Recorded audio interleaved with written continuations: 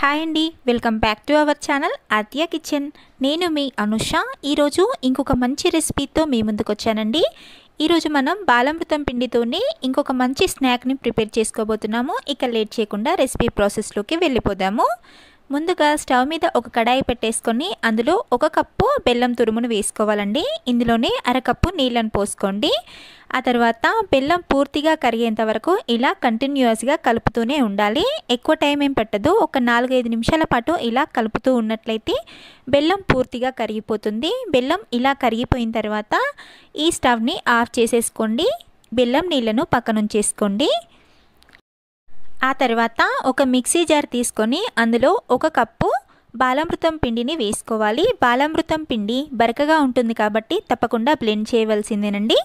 చూసారు కదా ఇలా మెత్తగా బ్లెండ్ చేసుకోండి. ఆ తర్వాత దీన్ని జల్లెడ సహాయంతో జల్లించుకోవాలి. ఇలా జల్లించుకున్నట్లయితేనే స్నాక్స్ ఏవైనా కూడా విరిగిపోకుండా పర్ఫెక్ట్గా వచ్చేస్తాయి. తర్వాత ఇందులోని ఒక కప్పు గోధుమ పిండిని కూడా వేసుకొని జల్లించుకోండి. ఆ తర్వాత కొద్దిగా ఉప్పును వేసుకోండి. ఇలా ఉప్పును వేసుకున్న తర్వాత ఒకసారి బాగా కలిపేసుకోండి. బాలామృతం పిండి ఇంకా గోధుమ పిండి కలిసిపోయేలా ఇలా కలిపేసుకోవాలి. ఇలా కలిపేసుకున్న తర్వాత ఇందులోనే ఒక టేబుల్ స్పూన్ అంతా నూనెను వేసుకోవాలి. మీకు ఇష్టమైనట్లయితే నెయ్యిని కూడా వాడుకోవచ్చండి. ఆ తర్వాత మనం వేసుకున్న నూనె ఇందులో కలిసిపోయేలా ఒకసారి బాగా కలిపేసుకోవాలి. చూసారు కదా? ఇలా కలుపుకున్న తర్వాత ఒకసారి ప్రెస్ చేసి చూసుకోండి. ముద్దల రావాలి. అలా అయితే నూనె సరిపోయినట్టు లేదంటే ఇంకొద్దిగా యాడ్ చేసుకోండి. ఆ తర్వాత మనం ముందుగానే రెడీ చేసి పెట్టుకున్న బెల్లం నీళ్ళను సగం వరకు పోసుకొని ఒకసారి బాగా కలిపేసుకోవాలి. బెల్లం నీళ్ళు కాస్త వేడిగా ఉంటాయి కాబట్టి ఇలా స్పూన్తో ఒకసారి బాగా కలిపేసుకోండి. ఇలా మొత్తం పూర్తిగా కలిసిపోయేలా కలిపేసుకున్న తర్వాత మిగిలిన నీళ్ళను కూడా పోసుకొని కలుపుకోండి. చూసారు కదా ఇలా పూర్తిగా పోసేసుకున్నాను. ఇలా పోసుకున్న తర్వాత ఇంకొకసారి బాగా కలిపేసుకోండి. మీకు బెల్లం నీళ్ళు కనుక సరిపోయినట్టయితే పర్వాలేదు. నీళ్ళు కనుక సరిపోనట్లయితే మామూలుగా మనం ఉపయోగించే నీళ్ళను కొద్దిగా వేసుకొని కలుపుకోవచ్చండి. పిండి అనేది చపాతీ పిండిలాగా సాఫ్ట్గా రావాలన్నమాట. అందుకోసం నేను ఇక్కడ ఒక హాఫ్ కప్పు నీళ్ళనైతే వాడాను. చూసారు కదా ఇలా సాఫ్ట్గా కలిపేసుకోవాలి. ఆ తర్వాత మూతను ఉంచేసుకొని ఒక పది నిమిషాల పాటు సెట్ అవ్వనివ్వండి. పది నిమిషాల తర్వాత తీసి చూసుకున్నట్లయితే పిండి ఇంకొంచెం సాఫ్ట్గా అయి ఉంటుంది. ఇంకొకసారి బాగా కలిపేసుకోండి. ఆ తర్వాత కొంచెం పిండి ముద్దను తీసుకొని చపాతీలాగా రోల్ చేసుకోవాలి.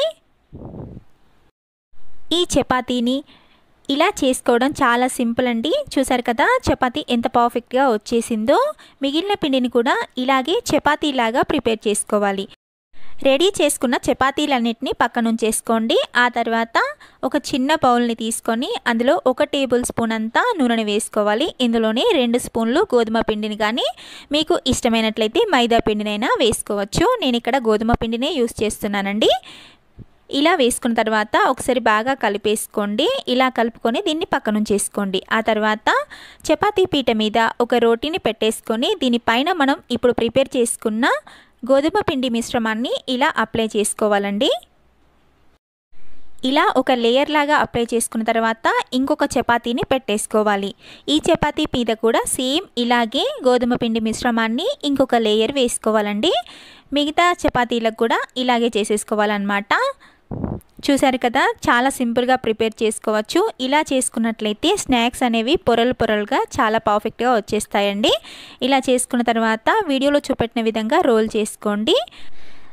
తర్వాత పిండి ఊడిపోకుండా ఒకసారి బాగా ప్రెస్ చేసుకోండి. ఆ తర్వాత ఒక చాక్ సహాయంతో ఇలా కట్ చేసుకున్నారంటే సరిపోతుంది. చాలా సింపుల్గా కట్ అవుతుందండి.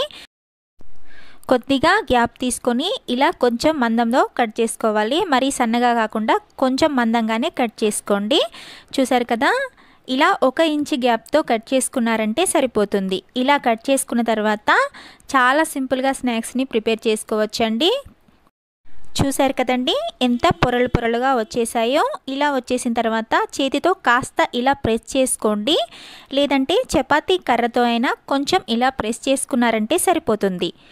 అంతే అండి. షేప్ అనేది పర్ఫెక్ట్గా వచ్చేస్తుంది. ఇలా వచ్చేసిన తర్వాత చపాతీ కర్రతో ఇలా జస్ట్ ప్రెస్ చేసుకున్నారంటే సరిపోతుందండి.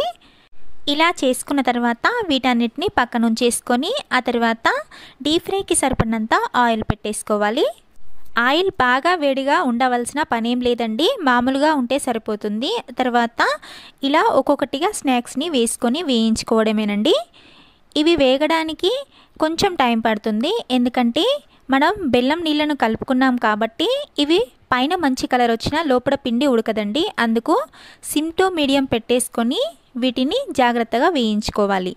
చూసారు కదండి? ఇలా కంటిన్యూస్గా తిప్పుతూ వేయించుకున్నారంటే సరిపోతుంది. ఇవి ఇలా మంచి గోల్డెన్ బ్రౌన్ కలర్ వచ్చేంత వరకు వేయించుకోవాలి. ఆ తర్వాత వీటిని తీసేసుకోవడమే.